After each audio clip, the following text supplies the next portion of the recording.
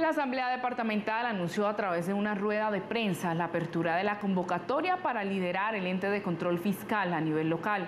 Profesionales interesados en el cargo para Contralor podrán llevar sus hojas de vida a la Asamblea Departamental del 27 de septiembre al 28 del mismo mes. El presidente de la Duma departamental anunció a través de una rueda de prensa la convocatoria para elecciones a Contralor departamental para el periodo del 2022 al 2025. Christopher manifestó que desde el 27 al 28 de septiembre se estarán recibiendo hojas de vida en la Duma departamental. Una invitación a la convocatoria pública de la elección del Contralor departamental del 2022 al 2025 mediante convocatoria número 041 del 20 de septiembre del 2021. Eh, se pueden comunicar por medio de la, página web de la Asamblea que es www.asambleasite.gov.co. Se reciben hojas de vida el 27 y 28 de septiembre en la oficina de la Secretaria General de la Asamblea con proceso, es un proceso adelantado con el apoyo de la Universidad del Magdalena. A través de esta nueva ley se establece que los contralores departamentales serán elegidos a mediados de cada administración, por lo que se hará en esta fecha la elección del nuevo contralor. Al finalizar la convocatoria y al tener ya una terna de tres personas, se informa al igual que la Asamblea hará la elección de esta. La Universidad de Magdalena ganó la convocatoria de la Asamblea para brindar el apoyo en la elección de este contralor departamental.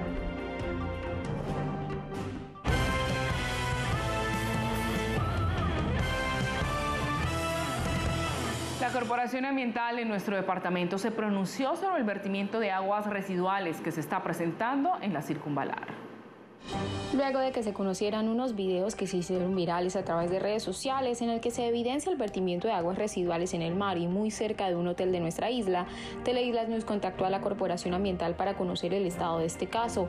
Ante esto, el equipo de control y vigilancia de Coralina manifestó que este vertimiento se debe a una ruptura en el emisario submarino. Se realizó la inspección en el día de ayer del flujo de agua que estaba eh, derramando sobre el borde costero. Evidenciamos que era agua residual que proviene del tubo de impulsión del emisario submarino. Eh, efectuamos el comunicado con representantes de la empresa Veolia, los ingenieros encargados, para notificarles lo que se estaba evidenciando. Ellos manifestaron que desde ese mismo día en, horas de la mañana tenían conocimiento de lo que estaba ocurriendo y han estado adelantando las acciones para obtener los accesorios necesarios para realizar el mantenimiento correctivo y las adecuaciones de esa tubería. Sobre los procesos que se hacen en estos casos de vertimiento de aguas residuales al mar, la corporación manifestó. Eh, usualmente nosotros hacemos un seguimiento mensual de todos estos casos que se vienen presentando, específicamente desde lo ocurrido en el huracán, los últimos dos huracanes, en los que se levantaron estas tuberías. Estamos haciendo unos recorridos evidenciando si hay flujo de agua, si hay vertimiento en algún punto, alguno de estos puntos, identificando y determinando los puntos específicos en los que se presentan. Eh, realizamos informes técnicos eh, de seguimiento en los que dejamos reportes de evidencia y se le hace el requerimiento a la empresa de acueducto y alcantarillado, en este caso Veolia, para que tome las acciones correctivas y preventivas de los casos. Este equipo periodístico estará atento al desarrollo de esta noticia y a los requerimientos que se hagan a la empresa encargada del arreglo de este emisario submarino. Y el gobernador Everett Hawkins encabezó la delegación de San Andrés en visita a proyecto de recuperación de playas en zonas costeras de La Haya, Países Bajos, con miras a lograr cooperación para detener el fenómeno de la erosión costera y recuperar las playas de San Andrés. Buscando soluciones para detener la erosión costera, el gobernador Eber Haki encabezó la delegación oficial de las islas en visitas a proyectos de recuperación de playas en zonas costeras de La Haya, Países Bajos, acompañado de sus asesores en temas de cooperación y relaciones internacionales, Richard Francis y Fadi Ortiz. El objetivo fue gestionar la cooperación del gobierno de los Países Bajos para la recuperación de playas en San Andrés, activo fundamental para la economía local, toda vez que la industria turística es la fuente principal de ingresos de la población. La reunión contó con el apoyo y acompañamiento del embajador de Colombia ante el Reino de los Países Bajos. Fernando Grillo, en donde expertos holandeses expusieron sus experiencias y casos de éxito en la prevención y recuperación de zonas que han sido afectadas por la erosión costera en diferentes partes del mundo, implementando soluciones basadas en la naturaleza. De igual manera, se manifestó el interés de ambas partes en cooperar en temas como la conservación de la biodiversidad, la adaptación al cambio climático y la gestión de los riesgos. En tal sentido, en los próximos días se adelantará la construcción conjunta de una carta de intención en la que se concreten proyectos a futuros en el marco de los temas expuestos. En su intervención, el gobernador Eber Hacking enfatizó sobre la importancia de la conservación de las playas para la comunidad insular, no solo desde su perspectiva económica, sino también desde una perspectiva de identidad cultural y cohesión social en las islas en especial entre el pueblo raizal, cuyos miembros han visto cómo la erosión ha destruido muchas de sus viviendas. Mañana el equipo de defensa colombiano presentará sus argumentos orales en la Corte Internacional de Justicia en el caso sobre las supuestas violaciones de derechos soberanos y espacios marítimos en el Mar Caribe. Entre tanto, en San Andrés existe una clara postura entre los isleños que se mantienen expectantes ante el curso de la demanda interpuesta por Nicaragua. A la luz de la audiencia de la Corte Internacional de Justicia de La Haya, correspondientes a una demanda interpuesta por el vecino país de Nicaragua contra Colombia debido a aparentes violaciones de derechos en el Mar Caribe, objeto de una histórica disputa, Teleisland News consultó la opinión de destacados profesionales sanandresanos conocedores del tema, quienes emitieron un análisis sobre la situación de Colombia en el proceso. Yo diría que la defensa que está realizando Colombia es una defensa tardía. Tardía porque lo que está haciendo hoy debimos de haberlo empezado a hacer desde 2002 cuando Nicaragua presentó su demanda contra el Estado colombiano para delimitar la zona en conflicto en similares términos también se refirió el historiador raizal Samuel Robinson sobre el escenario al que se enfrenta Colombia en la Corte Internacional de Justicia, tras un fallo previo en el que parte de su territorio fue cedido a Nicaragua. En estos momentos, yo puedo decir personalmente que fue un litigio mal manejado, despreocupado del gobierno nacional, que viene más de, más de 100 años que estamos pidiendo al gobierno central tener en cuenta la importancia que tiene estos territorios, estos mares para nosotros.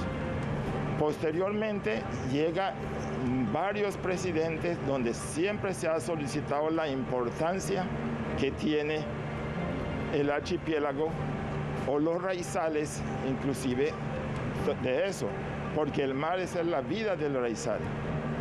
Ambos consultados por esta casa periodística coinciden al señalar que Colombia debió incluir desde un principio a la comunidad étnica raizal entre sus representantes ante la Corte Internacional de Justicia y no como se ha hecho posterior al fallo del 2012. En ese sentido, tanto Alberto Escobar como Samuel Robinson hicieron memoria de la solicitud realizada por el entonces representante a la Cámara Jiménez Walter. El doctor Jiménez Walter siendo eh, representante de la Cámara solicitó al gobierno para que enviaran alguien de la comunidad. Se aprobó en el Congreso por una, unanimidad y no se hizo. Entonces yo creo, y lo digo con, con todo respeto, que el gobierno nacional los tiene en ese sentido abandonados. Y entre los nombres que me acuerdo que dijo él, estaba el del historiador Valville Peterson Ben, Ken Francis Jen, Cleopatra Marugo y no me acuerdo si eh, Remo Areiza, para que ellos acompañaran primero porque el primero era un historiador, el segundo era ex intendente, ex parlamentario y ex embajador y los otros dos tenían una profesión muy afín a las relaciones internacionales. En línea con lo anterior, se mostraron críticos con respecto a las intenciones que a su consideración tiene Colombia con la inclusión del denominado Raizal Team. Desafortunadamente, Hasta ahora es que estamos haciendo presencia con, con nuestro gobernador, con el doctor Kent y otras personas, cuando eso se debió hacer muchos años antes. La Corte dijo, ni Colombia ni, ni, Colombia ni Nicaragua demostraron que en la zona en conflicto habían asentamientos urbanos. Entonces hoy es lo que está tratando de hacer el gobierno nacional, mostrando que hay un asentamiento, que hay unas personas que tuvieron unos derechos y unas prácticas ancestrales. En cuanto a las exigencias realizadas por Managua a la Corte Internacional de Justicia en noviembre de 2013, en el sentido de que Colombia derrogue leyes, abro comillas, incompatibles con la sentencia, cierro comillas, de noviembre de 2012, así como la revocación de permisos otorgados a los buques pesqueros colombianos que afaenan en las aguas en disputa, ambos se mostraron optimistas. En una visita que le hicieron algunos líderes el presidente Ortega dijo, yo no, eh, yo, yo, yo no vetaré a los raizales, ellos seguirán pescando en el mar territorial. Entonces yo pienso, ¿qué tenemos, qué Colombia tiene que hacer? Buscar que eso se convierta en un tratado. Mañana será el turno de Colombia de presentar sus argumentos ante la Corte Internacional de Justicia en defensa de la declaratoria realizada en septiembre de 2013 desde Bogotá, en la que se definió una zona continua integral para ejercer su jurisdicción en las aguas aledañas a la isla y Cayos, abro comillas, como archipiélago y no como territorios inconexos, cierro comillas, objeto de la demanda del vecino país centroamericano. Ante la emergencia sanitaria, el cementerio Harmony Hall tuvo que ser intervenido por las autoridades para ampliar su capacidad. Actualmente el gobierno local ha dado a conocer que otros cementerios de la isla serán intervenidos para su mejoramiento. Hay unas obras que se van a hacer en los cementerios.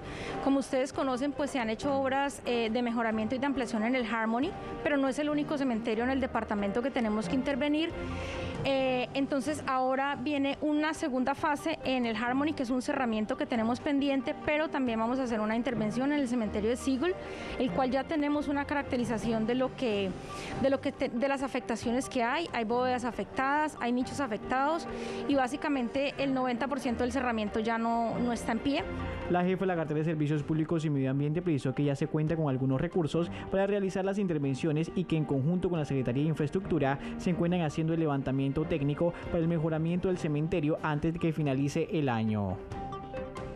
Y el día de hoy se hizo la primera jornada continua de vacunación contra el COVID a jóvenes en nuestro departamento. Les contamos cuál fue el balance de esta jornada. Desde las 7 de la mañana al día de hoy, la carpa de vacunación del Hospital Departamental se alistó para recibir a jóvenes entre los 12 y 17 años para ser vacunados contra el COVID-19. La coordinadora de vacunación de la S Departamental nos cuenta que más de 200 personas asistieron a esta jornada continua de vacunación para recibir el biológico de Pfizer. El objetivo de esta jornada eh, intensiva es que los jóvenes entre los 12 y 17 años de edad puedan tener acceso a, colocarse su vacuna, teniendo en cuenta que muchas veces estudian.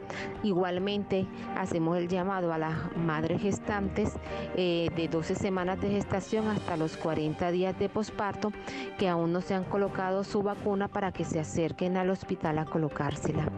El día de hoy hemos vacunado aproximadamente 215 personas con el biológico Pfizer en esta población.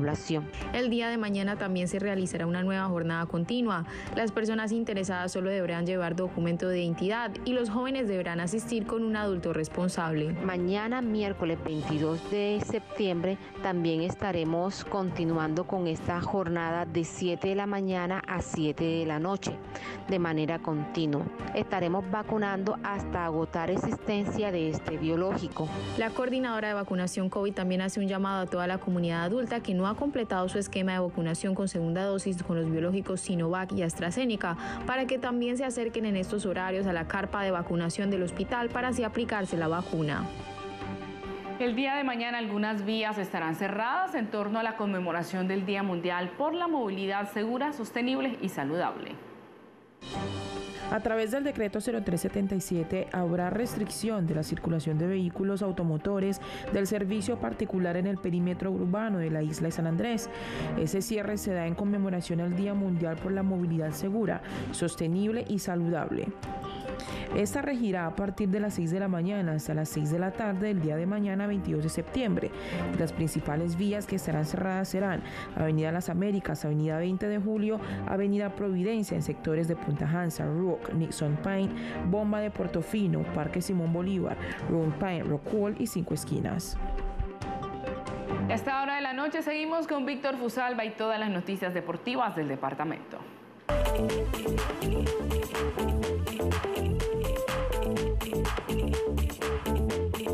¿Qué? Llegaron los deportes. Se adelantan las obras en el Coliseo de Baloncesto de San Luis con el fin de cumplir con los requisitos para la próxima burbuja del baloncesto profesional colombiano. Trabajando duro se encuentra el personal asignado de la reparación del Coliseo de Baloncesto para poder cumplir con las exigencias de la Federación Colombiana de la División Profesional de Baloncesto y poder llevar a cabo el próximo torneo profesional colombiano de este deporte, proyectado para el próximo 15 de octubre de este año. El secretario de Deportes, Alberto Olivares, habló del tema. Las obras que estamos haciendo en el Coliseo de de San Luis fueron obras solicitadas por la División Profesional de Baloncesto. Eh, ellos nos dieron unas pautas de lo que querían para poder llevar a cabo esta burbuja acá en el territorio insular y todo lo que ellos nos están pidiendo lo estamos llevando a cabo respecto a las, a las condiciones que ellos pidieron para poder hacer este gran evento aquí en el departamento.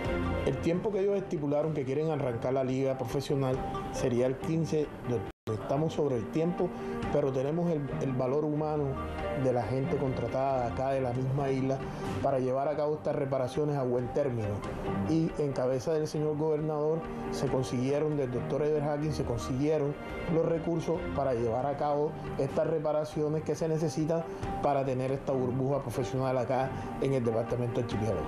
Según el secretario de Deportes, las canchas alternas también se van a reparar buscando darle mejor presencia al sector y proyectando así otros eventos deportivos que beneficien a la comunidad del archipiélago. La profe Paulette García continúa el legado del profe Sandoval, formando talento en el patinaje. La profe sigue formando talento por medio del club de patinaje Seahorse, continuando así con el legado de quien en el pasado fue uno de los más grandes formadores de este deporte, el profe Alfredo Sandoval. La profe retoma sus actividades de entrenamiento enseñando a las niñas técnicas y fundamentos del deporte del patinaje. El proceso con los niños es empezar desde muy pequeños, no importa la edad. La verdad no importa la edad, pueden iniciar, se empieza con el proceso básico, con la posición y así para ir eh, fundamentando y dejando de base la técnica y así irlos preparando poco a poco para ser grandes campeones. Eh, son procesos de constancia, siempre hay que estar asistiendo, estar muy entregados. Los niños son unos captadores de procesos impresionantes. Y así poco a poco vamos llegando para ser mejores deportistas. Un apoyo del 100% de los niños es el padre. Este proceso en cualquier deporte es un trabajo de tres, papás, hijos y profesor. Están unidos de la mano, el niño va a surgir impresionante, les va muy bien en el proceso. Indudablemente la profesora Paulette viene haciendo una gran labor con las niñas del patinaje, enseñándoles diferentes pautas y dándoles continuidad con este tipo de entrenamientos para formar futuras campeonas en el deporte de las ruedas pequeñas. Y esto es todo en Deportes por el momento. Nos vemos en la próxima emisión en inglés. Continuamos con Lisa.